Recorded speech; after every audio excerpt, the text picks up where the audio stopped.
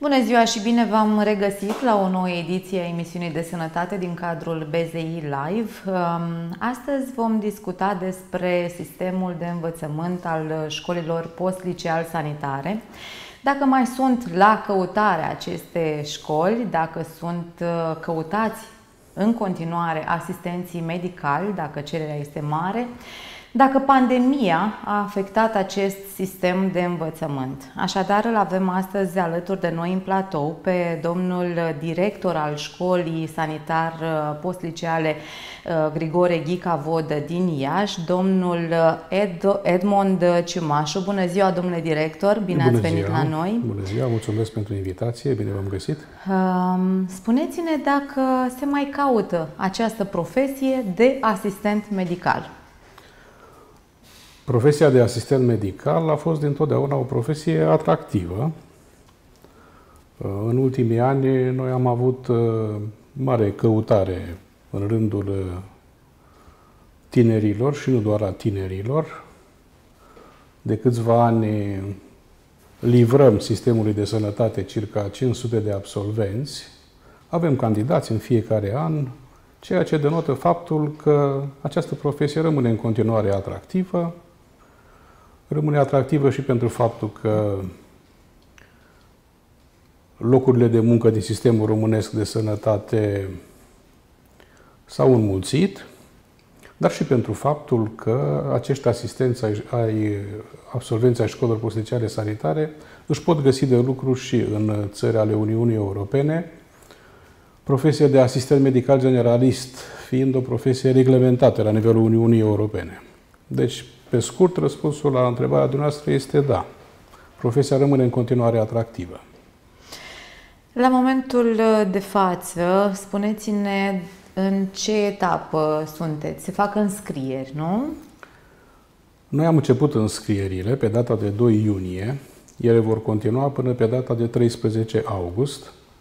Acesta este graficul uh, derulării înscrierilor candidaților pentru anul școlar 2021-2022. Poate nu e lipsit de importanță să precizăm faptul că noi școlarizăm uh, elevi, cursanți pentru trei calificări profesionale, trei specializări. Asistent medical generalist, asistent medical de balneofizio, kinetoterapie și recuperare și asistent medical de farmacie. Acestea sunt cele trei specializări, le-aș numi tradiționale, de ani de zile derulăm programe de formare a asistenților medicali în aceste specializări. De precizat faptul că pentru asistenții medicali generaliști avem și locuri bugetate, fără taxă, pentru care organizăm un concurs de admitere pe data de 23 august 2021. Care știm că nu e tocmai simplu și ușor. Nu e tocmai simplu, nu are nicio dificultate nemai întâlnită.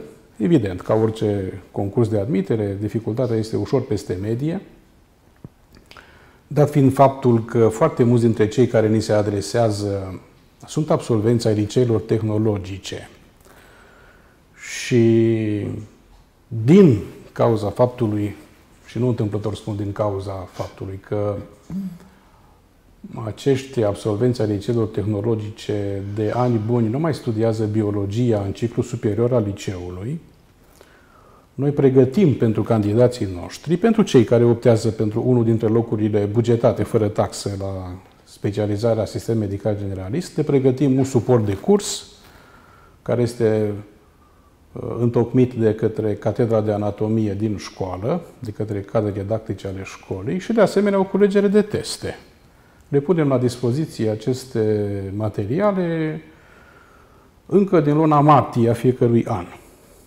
Pe 23 august ei vor primi un test cu 100 de întrebări, 100 de item, item cu alegere multiplă, din care un singur răspuns este corect. Din acești 100 de item, 80 sunt din culegerea de teste, care, cum vă spuneam, e la dispoziția candidaților, iar 20, 20 sunt la prima vedere. La prima vedere. Exact ceea ce îi obligă să parcurgă acea, acel suport de curs. Suport de curs de anatomie și fiziologie umană. Da. Uh, Din ce am uh, observat și din ce am citit, sunt uh, mulți oameni care vin să se înscrie la aceste cursuri da, ale școlii post-liceal sanitare care se reprofilează sau vin la o vârstă mai înaintată, 40-50 de ani, după ce au lucrat o viață într-un alt sistem.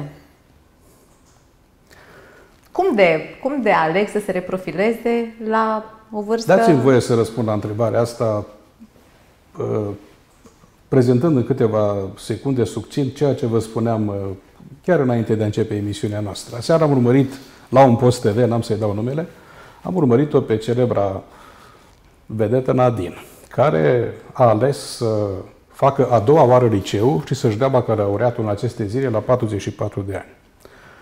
Am urmărit-o cu o admirație crescândă, vă spun, pe parcursul celor 50 de minute. Mă scuzați și, o secundă.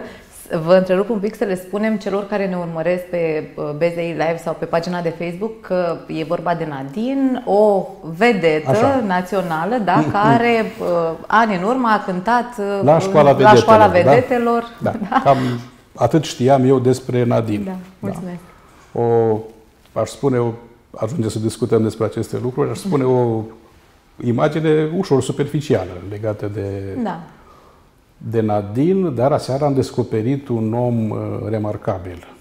Un om care a vorbit deschis despre curajul pe care trebuie să-l ai ca la o anumită vârstă, trecut de prima tinerețe, să alegi să te reîntorci pe băncile unei școli. Nu întâmplător povestesc acest lucru, Uh, și îl leg de faptul că și noi avem în școală oameni care aleg să se reprofesionalizeze la o anumită vârstă. Oameni care au avut o formare inițială în tinerețe, urmând cursurile unor facultăți sau au făcut mastere.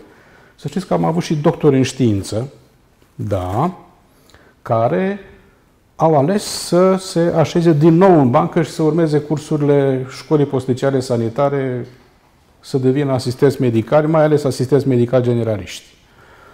De ce? Să știți că am căutat și noi să vedem care sunt cauzele, să facem niște analize mai uh-huh. profunde și am obținut de la ei un feedback foarte relevant. Mulți dintre absolvenții acestor facultăți nu-și găsesc de muncă. Da? Sunt absolvenți ai facultăților de matematică, cu tot respectul, care vând telefoane mobile sunt absolvenți ai Facultății de Economie și Administrare a Afacerilor, care, în cel mai fericit caz, lucrează în Kaufland, Carrefour, deci să spunem că au o vagă legătură cu sistemul, că pregătirea lor da. Da, interferează cu locul de muncă. Ei, Problema este că această școală îți oferă uriașul avantaj de a putea să profesezi, dacă îți dorești cu adevărat acest lucru, de a putea să profesezi pe baza actului de studii pe care ți le eliberează școala, aproape imediat după absolvirea școlii, mai ales pentru cei care aleg să lucreze, să profeseze în alte state, în țări ale Uniunii Europene, neînțelegând de aici că noi încurajăm să părăsească țara sub nicio formă. Și România, și sistemul românesc de sănătate are nevoie de specialiști calificați și înalt calificați. Însă e o chestiune până la urmă de opțiune personală, da? de alegere a fiecăruia, a modului în care alege să-și construiască propriul destin, propria carieră profesională și, de ce nu, în cele din urmă, să-și construiască o familie, da? să-și întemeieze o familie și așa mai departe. După finalizarea acestor cursuri, um, absolvenții uh, urmează aceste uh, uh, metode practice în spitale sau proba practică se face în cadrul cursurilor în perioada celor trei ani în spitale? Programul de pregătire a unui asistent medical este un program um, extrem de bine gândit și elaborat. Și fac această precizare și în calitate de membru al echipei care a lucrat la ultimul program de pregătire al asistenților medicali generaliști, cel care a intrat în vigoare în 2008. Uh, Da?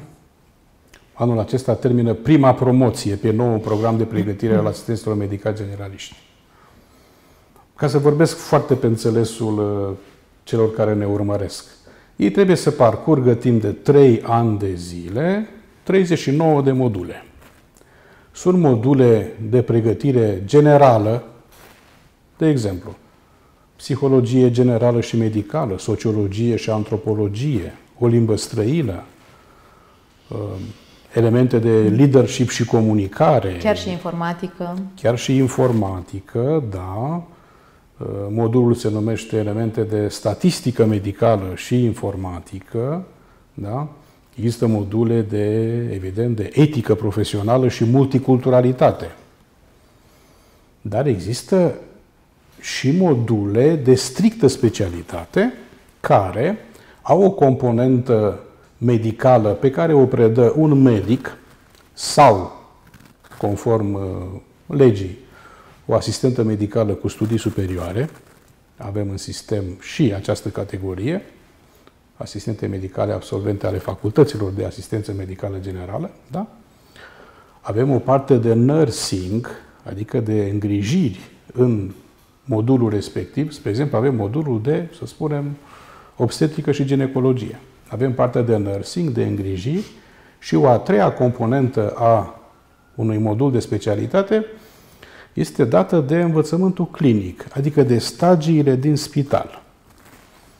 Pentru că această profesie de asistent medical generalist să fie agreată la nivelul Uniunii Europene, programul de pregătire al unui asistent medical generalist în cei trei ani trebuie să aibă cel puțin 4600 de ore însumate de-a lungul celor trei ani. E destul de mult, da? Și o altă condiție este ca cel puțin jumătate din aceste ore să fie ore de practică, să le numim așa generic, noi îi spunem învățământ clinic, care se desfășoară unde? În spitale. Profesia asta nu se poate face, programul de pregătire a unui sistem medical generalist ar fi incomplet dacă nu ar face stagii clinice în spitale. Da? Ai făcut un modul de chirurgie, mergi și faci stagiu clinic la secția de chirurgie. Ai făcut un modul de boli infecțioase, mergi și faci stagii clinice la spitalul de boli infecțioase. Acum, ce se întâmplă? Evident că aceasta este situația ideală care uh, surprinde parcursul lui de formare. Da? Și din fericire, noi, ca școală posticială sanitară care funcționează în Iași, avem avantajul că putem încheia parteneriate de colaborare cu foarte multe spitale din Iași. În mod tradițional avem încheiate circa 10 contracte de colaborare, 10 parteneriate da, cu aceste spitale din municipiul Iași, mai puțin anul școlar care se încheie peste scurtă vreme, 2020-2021, un an care... A fost blocat puțin de pandemie. A fost puțin blocat. Noi am avut... Uh, a trebuit să facem față unor uh, dificultăți foarte mari.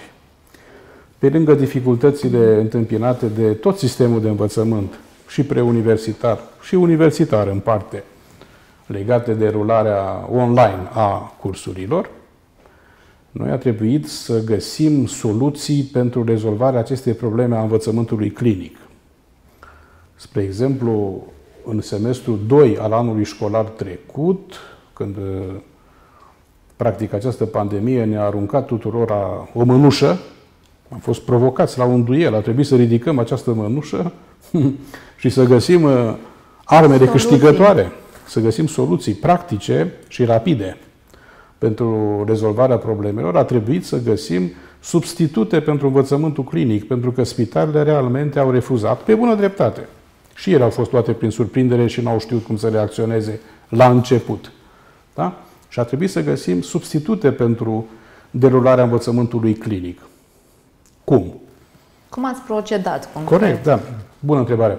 Păi, avem laboratoare de specialitate în școală. Da? Sunt săli de demonstrație, sunt saloane demonstrative bine puse la punct și am reușit să facem simulări în școală, să le transmitem online, dar e un surogat. A fost o soluție de moment. Au fost montate camere, să înțeleg, exact, pe acele manechine? Montate camere, profesorii uh, efectuau anumite proceduri, anumite tehnici. Trebuie să precizăm faptul că sunt, noi avem două saloane demonstrative care sunt realizate după modelul saloanelor de spital. Da? Și atunci, atmosfera creată acolo a fost foarte apropiată de, de cea a unui spital. Mai ales că dascălii erau probabil cu măști, cu combinezoane. Exact, cu... exact. Dar, e, repet, a fost o soluție de moment, un provizorat. Din fericire, în septembrie 2020, am uh, căutat și am găsit soluții de rezolvare atât cât se putea rezolva în această chestiune a derulării învățământului clinic. Toate școlile atunci au fost un pic alarmate de această problemă, cum se va rezolva problema învățământului clinic, mm. pentru că ce se întâmplă și Ministerul Educației și al Sănătății ne-au trimis semnale că pregătirea acestor uh, cursanți ar fi incompletă dacă noi ne-am rezuma să derulăm învățământ clinic doar în, doar pe uh, cursuri. Doar în laboratoarele, de specialitate da. ale școlii. Da? Clinos înseamnă pat în limba greacă. Învățământ clinic înseamnă să mergi la patul bolnavului. Unde? În spital. Nu da. la patul din da. laboratoarele de specialitate ale școlii. Unde este o simulare, de fapt. Corect, e o simulare până la urmă. Uh, și anul trecut au fost, la începutul lunii septembrie, două videoconferințe cu fosta ministra educației și cu unul dintre secretarii de stat de la Ministerul Educației, dar și cu secretarul de stat de la Ministerul Sănătății, doctorul Horațiu Moldovan, tocmai pe această problemă a derulării învățământului clinic Prima discuție viza și elevii școlilor postliceale sanitare și studenții facultăților de medicină. Problema a fost un pic mai vastă, dar a doua întâlnire uh, s-a axat doar pe elevii școlilor postliceale sanitare. Și ni s-a spus clar și pe bună dreptate, pentru că în felul acesta am fost forțați să căutăm soluții și nu să le așteptăm doar venind de undeva de sus. Corect. La fața locului, în discuțiile pe care le-am avut cu managerii spitalelor, cu directorii de îngrijiri, cu asistenții, șefii din spital. S-au adunat idei. Școlile, da, așa apar soluțiile. Discutând constructiv, venind cu argumente, încercând, evident, să caut soluțiile cele mai bune, respectând și legea, nu? Și am avut uh, o colaborare, aș numi-o, excelentă și nu vreau să gratulez pe nimeni aici, o fac la un mod foarte dezinteresat, o relație excelentă cu directorul Direcției de Sănătate Publică, domnul dr. Cepoi, Vasile Cepoi, da? care a înțeles foarte bine situația. problema, situația și el într-o primă fază ne-a și dat soluția. Trebuie discutat, a spus, cu fiecare spital în parte și zic eu, spunea domnia sa, că soluția e grupe mici, deci da. nu mai intrăm cu 30 de elevi într-o clinică, grupe mici, 3, 4, 5, 6, programul redus, în așa fel încât contactul cu pacienții potențiali contaminați să fie cât mai redus. Da? De la aceste premise s-a plecat în septembrie 2020 și am reușit să încheiem Acum trebuie spus că nu toate spitalele au manifestat o deschidere foarte mare în legătură cu această chestiune. Da, nu analizăm această problemă aici, dar am găsit spitale care au uh, fost uh, cooperante, deschise. Acestea au fost soluțiile care uh, au fost adoptate în uh, septembrie 2020, soluții care ne-au permis să ne desfășurăm învățământul clinic în spital, nu în condiții normale, dar în condiții apropiate de normalitate și care să permită elevilor, copiilor, cum le spunem noi, să meargă totuși în spital. Și țin să le mulțumesc aceast, pe această cale spitalelor care au înțeles să ne sprijine, pentru că până la urmă spitalele sunt beneficiarii acestor indirecți, mă rog, în termenii managementului. ulterior? Sigur că da, sigur că da. Și de calitatea lor se bucură întreg sistemul. Și pacienții până la urmă, că ei sunt uh, Categoric. actorii principali ai uh, filmului la care lucrăm cu toți. Școli posticiale sanitare, personal medical, spitale și așa mai departe. Corect. Spuneți-mi dacă în această perioadă, care tocmai ne-ați uh, amintit că a fost una dificilă chiar și pentru acești cursanți și pentru noastră ca parte a conducerii acestei unități de învățământ, au fost cursanți care au renunțat tocmai din frica acestei pandemii, nu mai merg să fac aceste uh, cursuri clinice pentru că, nu știu, mă gândesc că o să Uh, fac virusul, au să iau boala. Au fost câteva situații uh, care elevi care au pur și simplu s-au speriat de contextul acesta creat și de solicitările care au uh, căzut pe personalul medical da, și care și-au spus ok, dacă eu aș fi fost în locul lor, n-aș fi făcut față. Deci înseamnă că această profesie nu e de mine, mai bine plec. Dar pe noi nu ne-a mirat foarte tare o asemenea poziție și am să vă spun și de ce. Pentru că în anul întâi, atunci când deschidem larg ușile, pentru școlii, toată lumea. De, deschidem porțile, metaforic spus, da? E nu chiar ca la junimea intră cine vrea, rămâne cine poate, așa? Dar avem niște discuții foarte serioase cu ei în primele săptămâni de școală, în anul întâi, când ei vin acolo având diverse motivații, da? intrinseci, extrinseci, unii vin din idealism, s-au uitat la nu știu ce filme, au rude care lucrează în sistem și care constată după câteva săptămâni că nu le place, nu e de ei. Da? Nu le place mirosul uh, consumabililor uh, medicale, mirosul de spital, uh, nu le place mirosul sângelui cald, în fine. Adică vin cu un alt film de acasă. A, Ei așa. sunt într-o altă poveste, și dar atunci, în momentul în care iau contact cu realitatea, exact, bată și atunci retragere. este mai onest pentru toată lumea și pentru noi și mai ales pentru ei să aleagă altceva. Sunt oameni în toată firea, noi lucrăm cu adulți. Da? Sunt uh, absolvenți de liceu. Asta voiam să întreb. Care sunt condițiile de înscriere? Că toți de... suntem în perioadă de înscriere. Da. Sunt absolvenți de liceu, conform legii, cu sau fără diplomă de bacalaureat. Acum trebuie să vă precizez faptul că sunt puțini fără diplomă de bacalaureat. Dacă puțini înseamnă circa 30% dintre ei.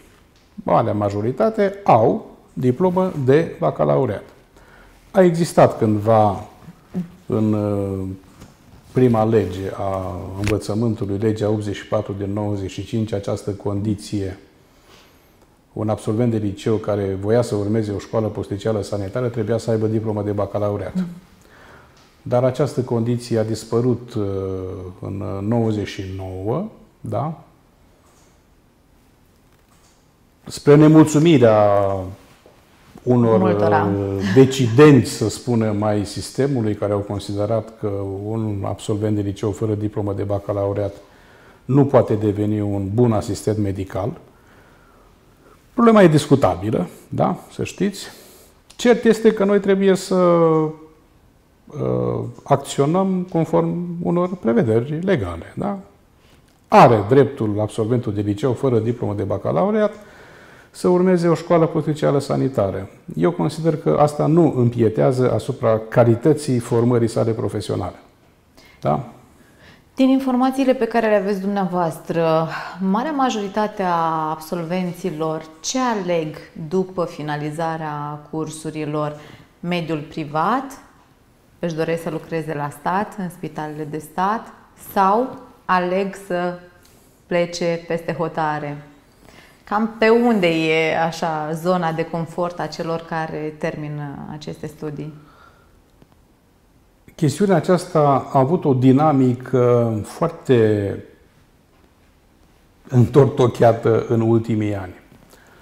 Pentru că după aderarea României la Uniunea Europeană, evident că s-a liberalizat piața forței de muncă, școlile posticiale sanitare au uh, adoptat atunci un program de pregătire al asistenților medicali, agreat de Comisia Europeană în 2007 și care a permis acestor absolvenți să lucreze în țările Uniunii Europene, procedurile de recunoaștere a actelor de studii fiind pe parcurs simplificate, astfel încât la ora actuală e aproape o formalitate să mergi din România cu actul de studii eliberat de o școală posticială sanitară, certificat de competențe profesionale nivel 5 se numește acest act de studii, și poți lucra cu această diplomă, hai să-i spunem diplomă, da?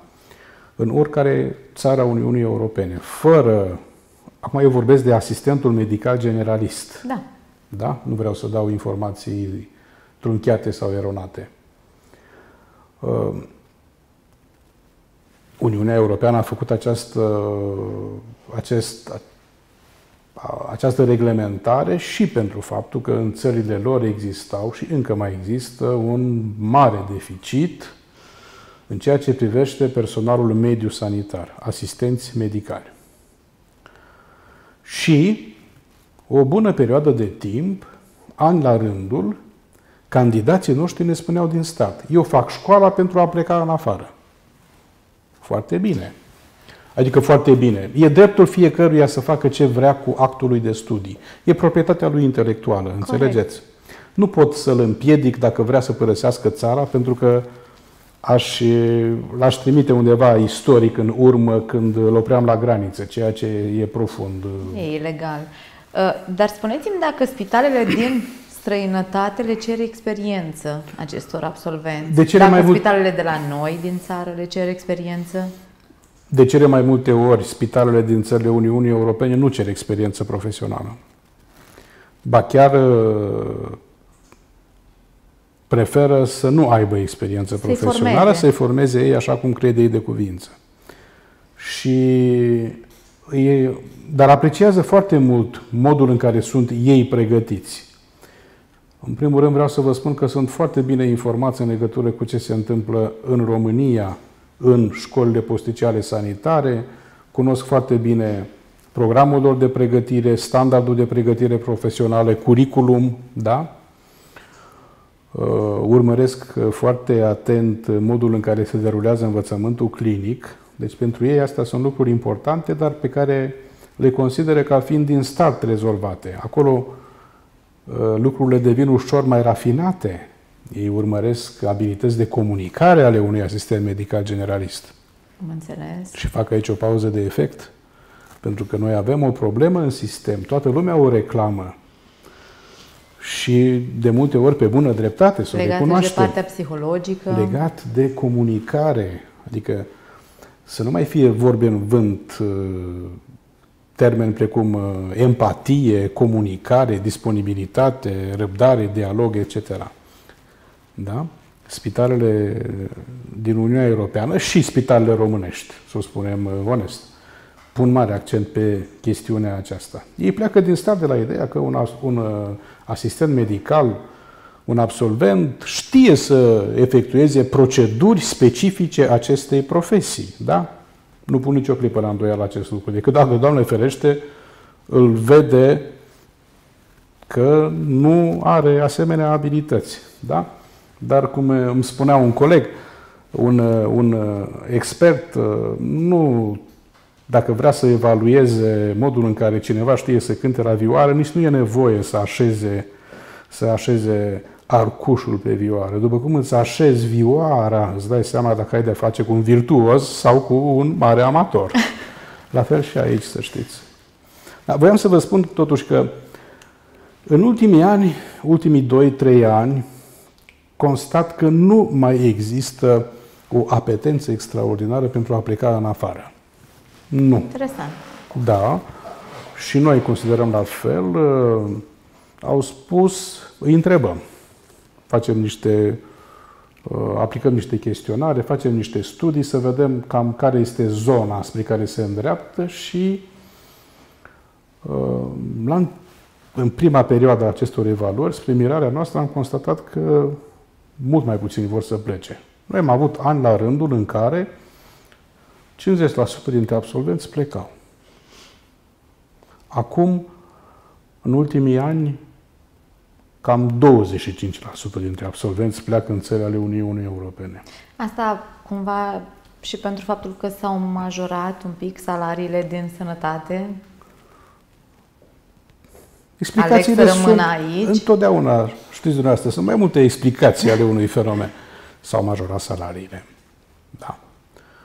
Iată, sunt mai bine de trei ani, da, martie 2018, de când în sistemul de sănătate s-au majorat salariile astfel că sporurile, un gărțile. medic, un asistent medical câștigă, are un salariu acceptabil, să-l numim nu doar pentru România, să știți, nu doar pentru România. Nu o să dăm acum cifre, da, nu lucrăm uh, în acești termeni, dar sunt salarii care sunt comparabile cu salariile din țările Uniunii Europene. Asta și am să vă spun de eu. ce, chiar dacă poate mulți telespectatori nu sunt de acord cu noi.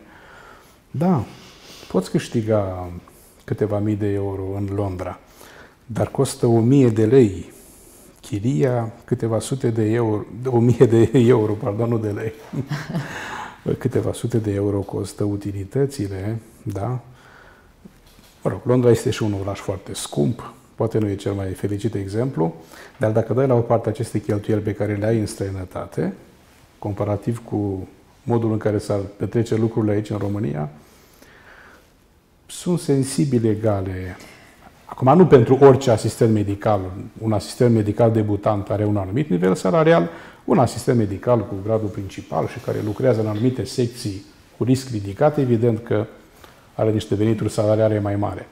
Mai mari. Dar asta e o problemă care nu mă privește pe mine, nu fac eu analize de acest gen legate de veniturile personalului medical. Aici mai îndrituiți sunt cei de la sindicat, cei de la Ordinul Asistenților. Da, categoric e un subiect care ar trebui atins da. cu cei din această de zonă. De ce nu? Puteți Dar să tot așa ca uh, informație da. pe care probabil o aveți, cunoașteți cazuri în care asistenți medicali care au finalizat aici școlile post-liceal-sanitare au plecat în străinătate pentru 3, 4, 5 ani și apoi au revenit în spitalele de la noi din România, nu mă refer doar la acele ieșene. Adică unii care au văzut și au lucrat acolo și s-au întors în spitalele noastre, nu știu, nemulțumiți de sistemul de acolo sau de nivelul de muncă sau de, nu știu. Sunt, există și astfel de cazuri? Există și astfel de cazuri. S-au întors uh, nu neapărat nemulțumiți de mhm. locul de muncă de acolo, de Uh, știu eu, responsabilitățile de fișa postului pe care ar fi avut-o la un spital dintr-o țară a Uniunii Europene. Sunt însă, nu spun mulți, dar am cunoscut absolvenți care au venit și ne-au povestit aceste lucruri, care nu au reușit să se adapteze, să știți, în țări ale Uniunii Europene.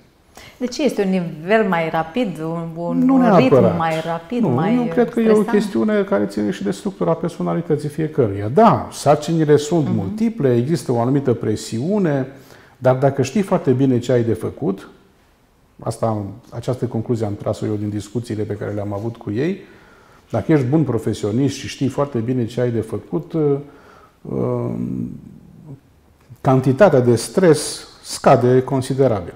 Dar nu toată lumea reușește să se adapteze. Și e o problemă de limbă. Pentru că vreau să vă spun că nu toți asistenții medicali pleacă, sau cei care plecau cândva în uh, Marea Britanie. Absolvenții noștri, mai toți, grație școlii făcute până la a urma școala noastră, au cunoștințe de limbă engleză. Generală, da, de... Dar e un pic mai dificil cu, pentru cei care aleg să lucreze, să spunem, în Germania, în Norvegia, în uh, unde ești obligat Zona să vorbești olandeză, limba lor obligatoriu. în spitale? Obligatoriu limba lor și la un anumit nivel. Aici e problema. Da? A, deci nu se poate vorbi în engleză într-un spital din Germania sau oh, din nu. Franța sau din... nu. Chiar francezii nu. au o problemă să oh, nu se vorbească da. Imaginați-vă dumneavoastră că mergeți la Paris și încercați să da, vorbiți englezește să vorbească. cu, cu parizienii. Da, da. S-ar putea da. să se sunt să naționaliști se până nu în mădul mai... oaselor. da, mă rog, își apără cultura, aici e de înțeles. Or, dar încă o dată, dacă ei aleg să plece într-o asemenea țară, trebuie cu ceva vreme înainte ieșit din zona de confort, cum spunem noi, și să înveți o limbă străină. Și se poate învăța. Se poate învăța. Dar asta este o altă chestiune. N-aș vrea să se înțeleagă că noi suntem furnizori de forță de muncă pentru țările Uniunii Europene. Pentru că noi suntem o școală posticiară sanitară de stat. De stat, bine spus. Se numește Grigore Ghica Vodă, care a fost domnitor exact. moldovean al Moldovei, adică suntem români și ne gândim în primul rând să pregătim specialiști pentru sistemul românesc de sănătate.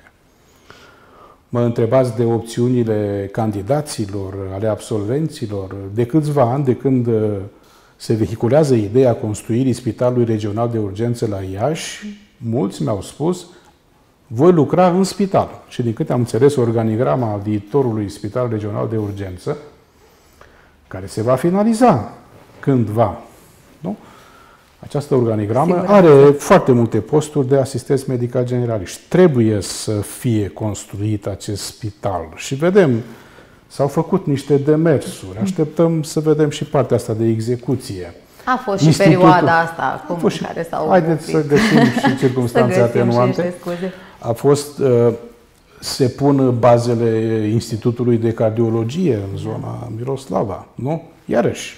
Forță de muncă. Forță de muncă. Forță instituții de muncă. care vor necesita forță de muncă calificată și înalt calificată. Da? Noi pentru asta suntem în primul rând aici, să servim sistemul medical românesc, da? serviciile de sănătate să le punem la dispoziția populației din România, milioanelor de români care trebuie să beneficieze de ele. Da? Însă, repet, cine alege să plece într-o altă țară membra Uniunii Europene, are dreptul să o facă. Nu putem să ne cu atât mai mult... Așezăm în calea destinului. Cu atât mai mult avem nevoie de forță de muncă pentru că trebuie să ne uităm în urmă da? ce a fost în perioada aceasta cu pandemia și cu medicii care și cadrele medicale care au lucrat la foc continuu. Unii dintre ei chiar au și cedat la un moment dat, ca să nu spunem că pe unii a atins și boala și, din păcate, au plecat. E nevoie de angajați în sistemul Noi avem sanitar. Uh, foarte multe cadre didactice asociate, adică specialiști în domeniul sănătății, care sunt și cadre didactice în școală. Și în felul acesta reușim să îmbinăm componenta profesională, de pregătire profesională științifică, cu o componentă didactică.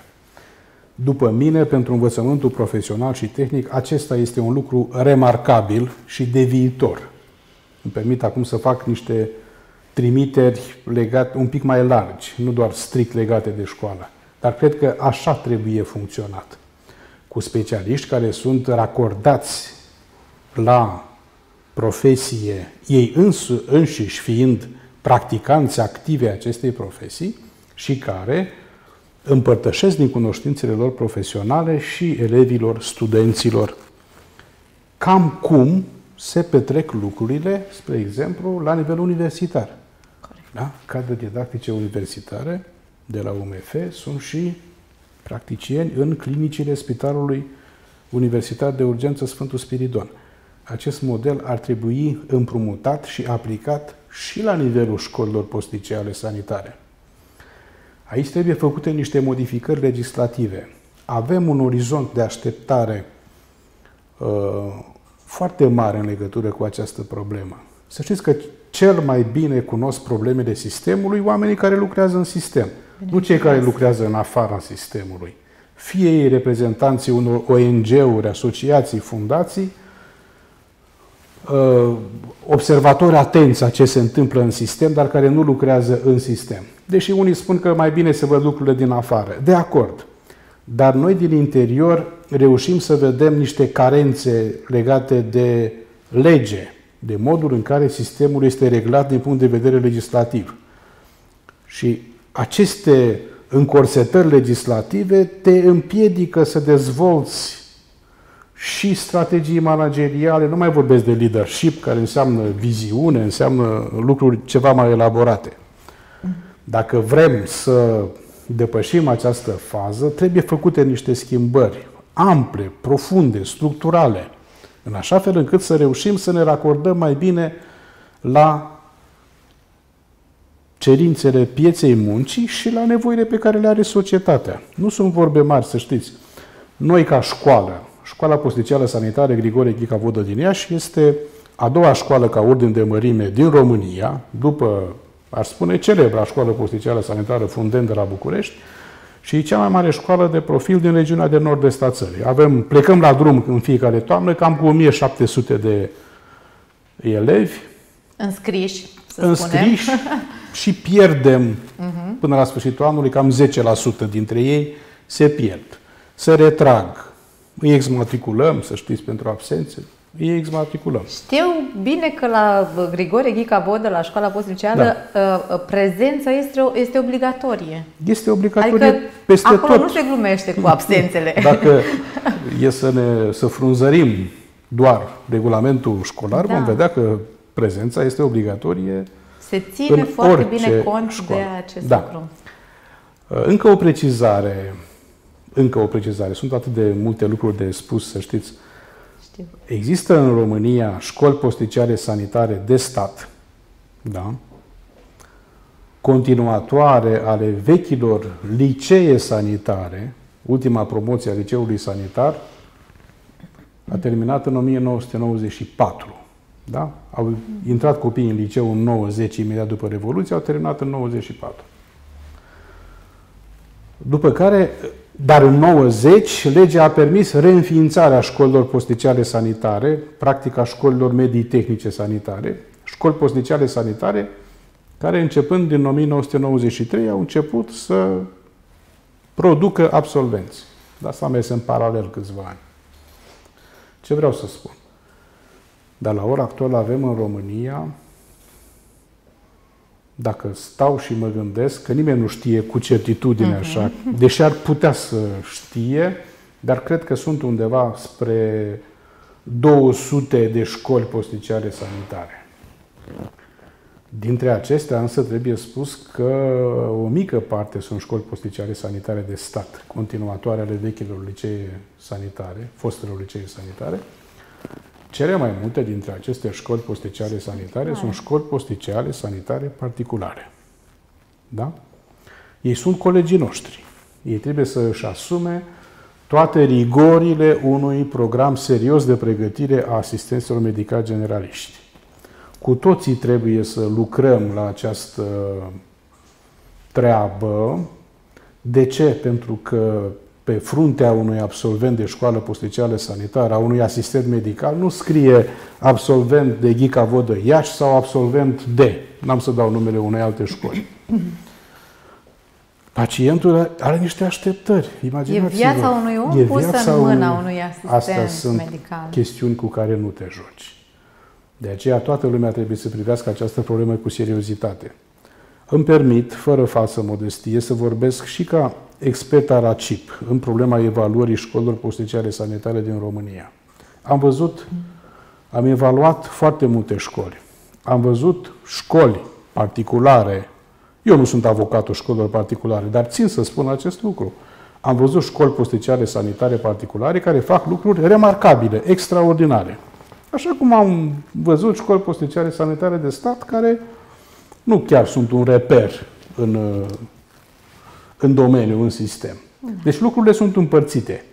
Ține până la urmă de modul în care se implică managementul școlii, ține până la urmă de modul în care cadrele didactice de acolo își asumă această misiune, da?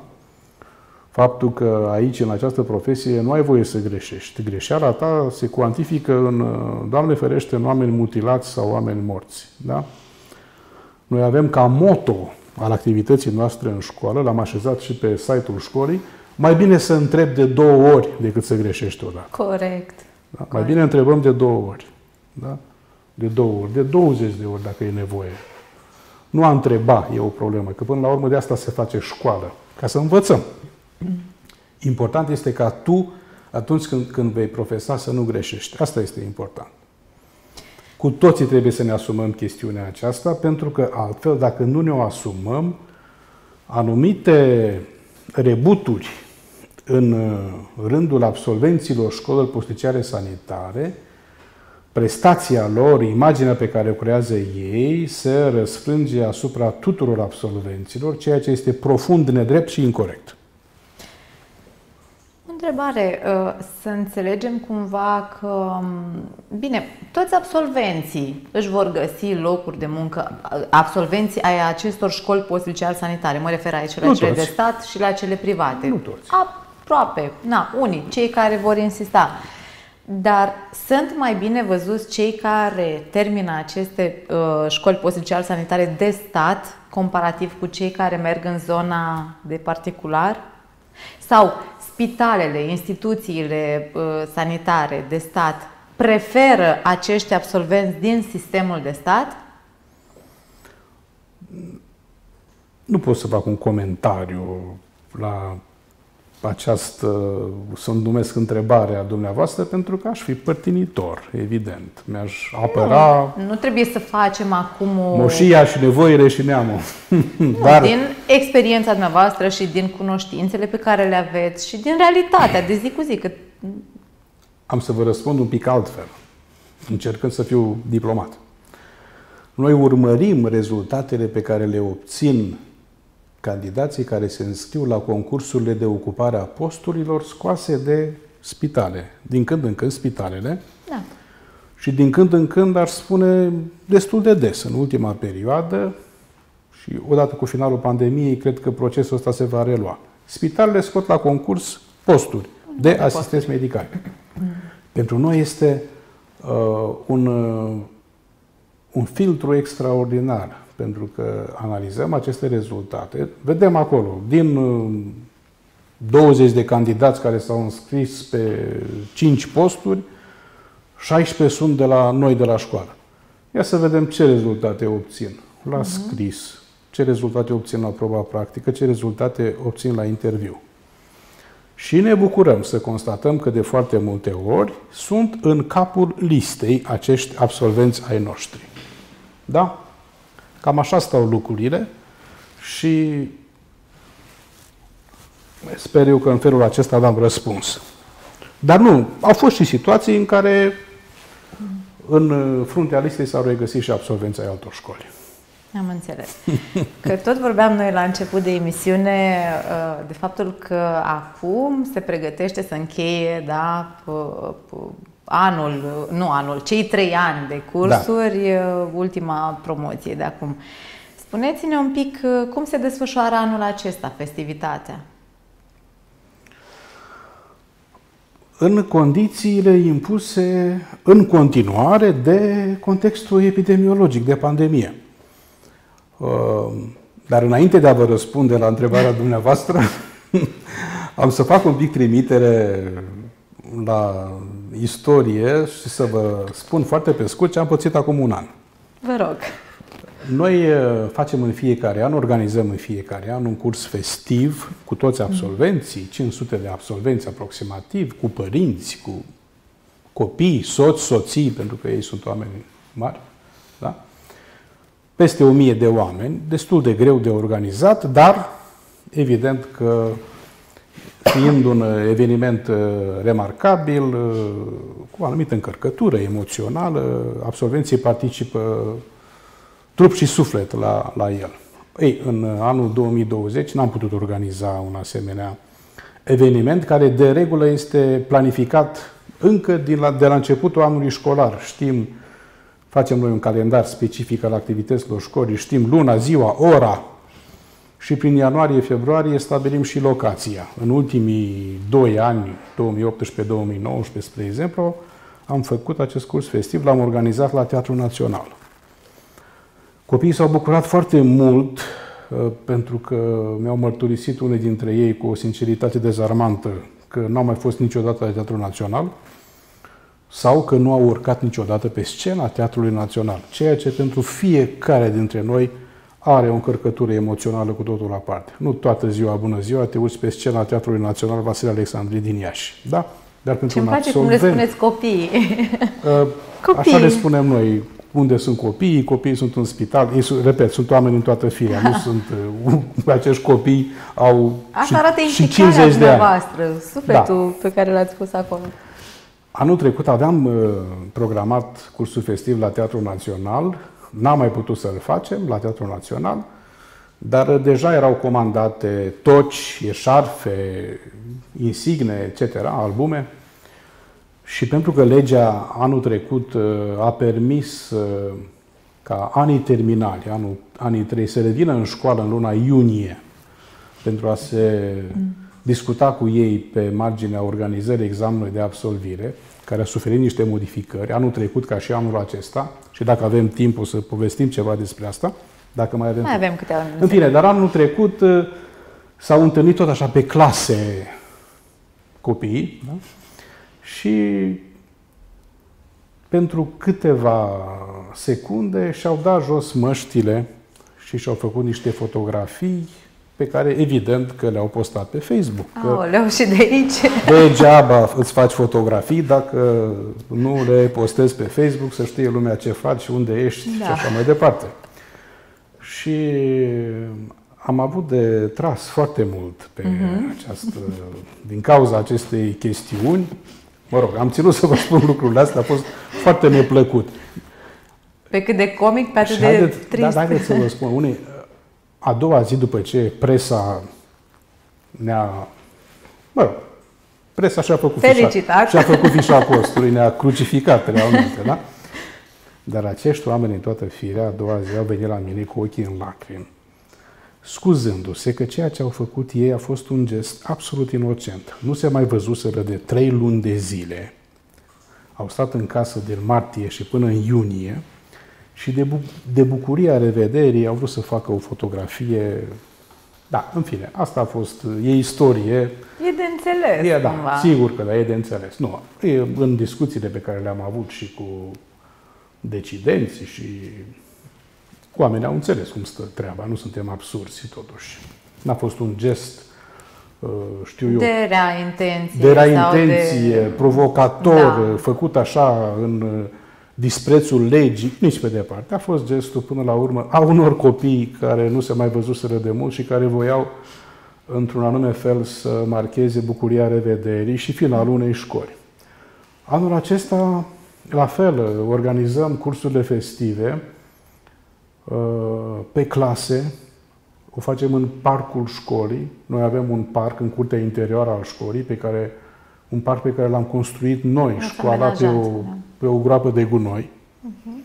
Acum vreo, acum vreo, acum șase ani am construit acest parc.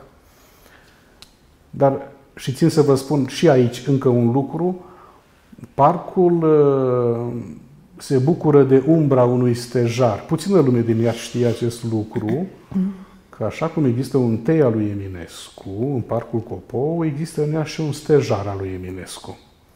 În 2014, când am reabilitat termic școala, crengerea acestui stejar, care are 240 de ani de zile, el e cu rădăcinile în curtea spitalului de boli infecțioase, dar cu ramurile peste gard în parcul Ce școlii posticiale sanitare, în 2014, când am, reu- am reabilitat termic școala, uh, crengerea acestui stejar uh, ne împiedicau să așezăm schelele. Da. Nu, nu reușeam să așezăm schelele lângă pereții școlii și știam foarte bine că nu avem voie să tăiem copacii, nu îi toaletezi cum crezi tu. Faci adrese către Primăria da, Iași. Da, da, Primăria Iași, foarte inspirată, mm. ne-a trimis către Academia Română. Și am primit de la Academia Română un document pe care îl păstrăm în analele școlii și am aflat astfel că acest stejar este legat de numele poetului național. Pavilionul 7 de la boli infecțioase, vecinii noștri, acolo, în secolul XIX, era școala centrală de fete. Acolo a învățat uh-huh, Veronica da. Micle. Da.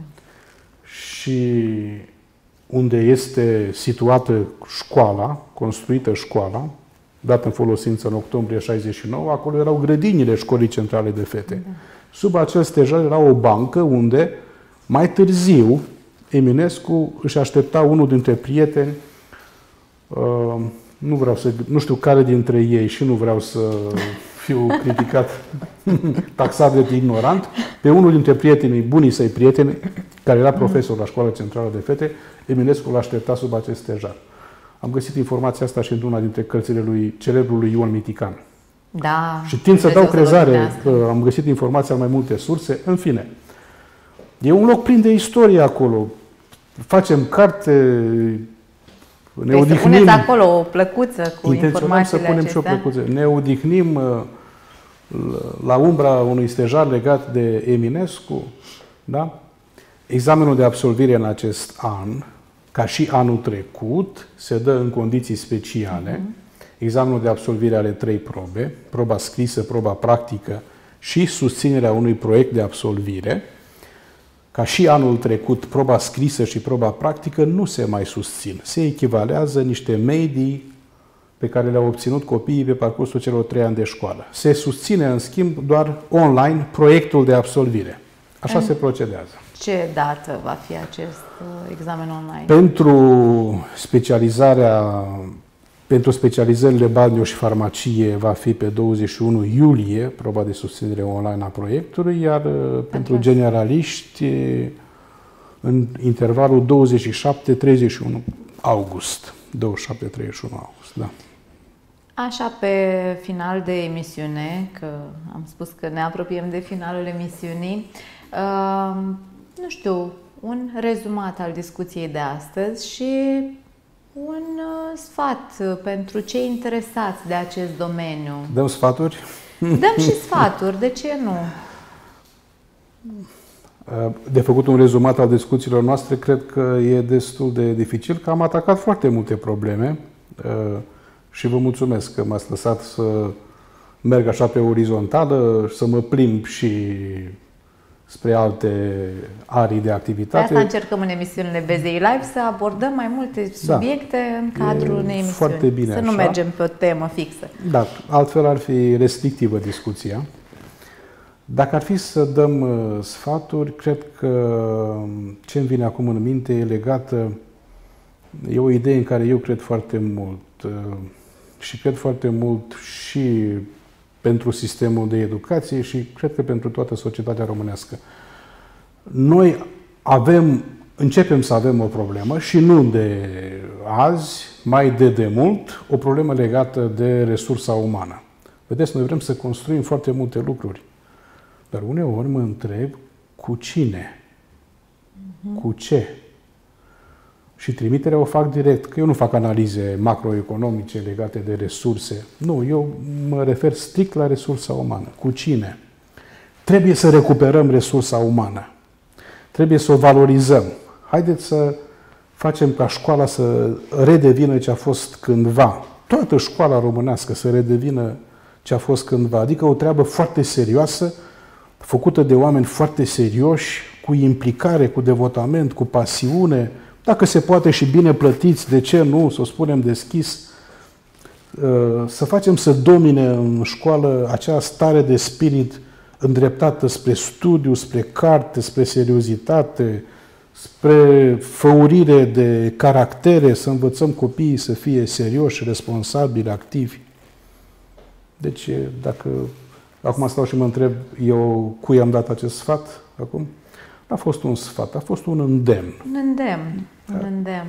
Dacă dai sfaturi, ești taxat ca fiind un mare... Sfaturile trebuie să le dai cumva da. atunci când și... îți sunt cerute. E ușor de dat sfaturi. E un îndemn către cei care lucrăm în, în sistem. Da? Sute de mii de profesori, milioane de copii. Unul dintre cele mai importante subsisteme ale sistemului social mai larg. Așteptăm cu toții suntem acum într-o așteptare legată de transformările care se impun, nu de dragul de a face niște transformări. Termenul ăsta reformă s-a demonetizat atât de mult încât mă și feresc să-l mai folosesc. Să facem reformă, reformă, reformă, reformă. De 30 de ani de zile aud cuvântul reformă. Nu. Haideți să facem niște lucruri concrete, punctate, bine gândite, bine gândite.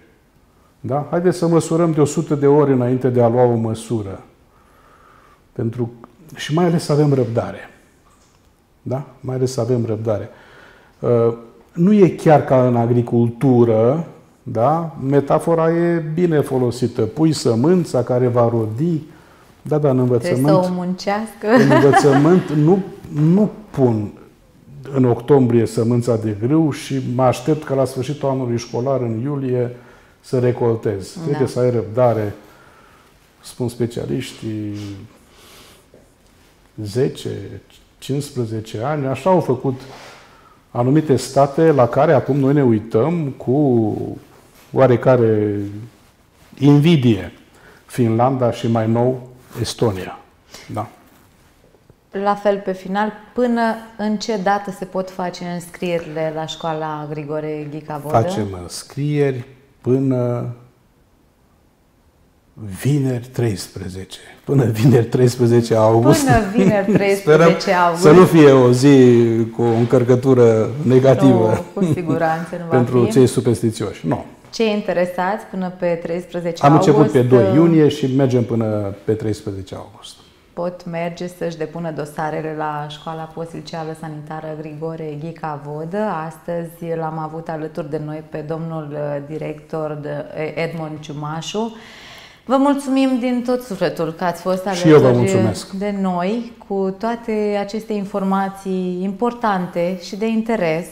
Așadar, sistemul sanitar uh, e la mare căutare, da? adică Este în continuare. absolvenții Da. acestor școli posiliceal sanitare sunt la mare căutare și atunci uh, nu rămâne decât să, să continuăm. Nu? Și să mergem uh, Și să ne străduim să facem lucrurile din ce în ce mai, mai bine, bine în acest sistem. Vă mulțumim Întotdeauna tare e loc mult. pentru mai bine. Și eu vă mulțumesc foarte mult pentru că mi-ați oferit eh, posibilitatea de a vorbi pe toate temele pe care le-am atins în această oră. Vă mai așteptăm și cu alte Cu mare ocazii drag. aici în platoul BZI Live. Vă mulțumim pentru atenția acordată și ne, să ne pregătim cu bine la următoarele emisiuni de sănătate. O zi minunată vă dorim. La revedere! La revedere!